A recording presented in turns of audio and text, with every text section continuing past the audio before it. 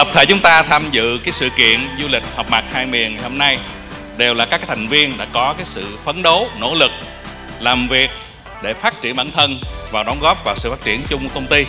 Tôi rất vui mừng khi thấy các bạn có cái kỳ nghỉ cùng với nhau, vui vẻ và hạnh phúc.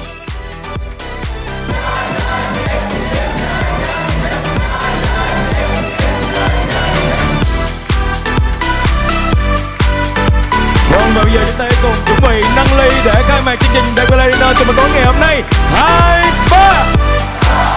Và vâng, chúng ta hãy cùng cạn ly nào và chúc cho tất cả thành viên chúng ta có một đêm Lady Dinner thật vui vẻ và thật đồng ấm.